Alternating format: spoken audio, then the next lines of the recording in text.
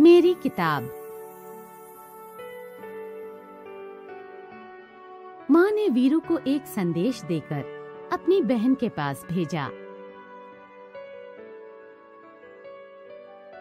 मौसी ने प्यार से वीरू को अंदर बुलाया और बैठक में ले गई। बैठक में कदम रखते ही वीरू अचरज से ठिठक गई। उसने सोचा, बाप रे, इतनी सारी किताबें वहाँ नीचे से ऊपर तक किताबों से भरे खानों वाली दो लंबी दीवारें थीं।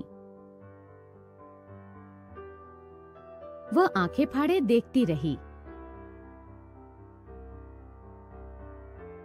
अंत में उसने साहस करके पूछा क्या आपके पास बच्चों के लिए भी किताबें हैं? मौसी ने कहा हाँ ये देखो, ये वाला खाना और ये वाला. वीरू ने हैरानी से कहा, इतनी ढेर सारी किताबें, मेरे पास तो इतनी किताबें नहीं हैं. मौसी ने कहा यदि तुम चाहो तो मैं पढ़ने के लिए तुम्हें कुछ किताबें दे सकती हूँ। तुम्हें किस तरह की किताबें सबसे अधिक पसंद हैं? वीरू ने धीरे से कहा, मुझे मालूम नहीं। मौसी ने एक किताब निकालकर वीरू को पकड़ाई और कहा, तुम यह किताब पढ़कर देखो। वीरू घबराकर पीछे हटी और बोली बाप रे, ये तो बहुत मोटी है। मौसी ने सुझाव दिया अच्छा तो फिर शायद ये वाली ठीक रहेगी? वीरू बोली, ये बहुत बड़ी है, मेरे बस्ते में नहीं आएगी। मौसी ने एक तीसरी किताब दिखाई। और इसके बारे में क्या ख्याल है?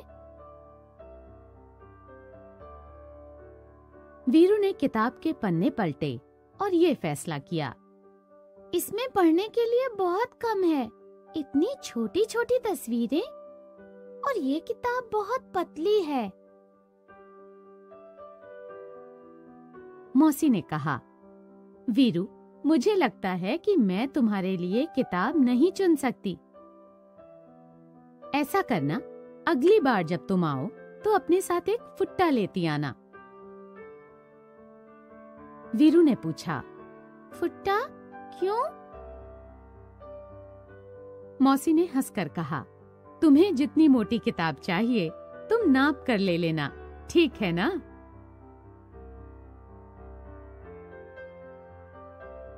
वीरू ने माँ के भेजे हुए कागज़ को मेज पर रखा और भाग खड़ी हुई।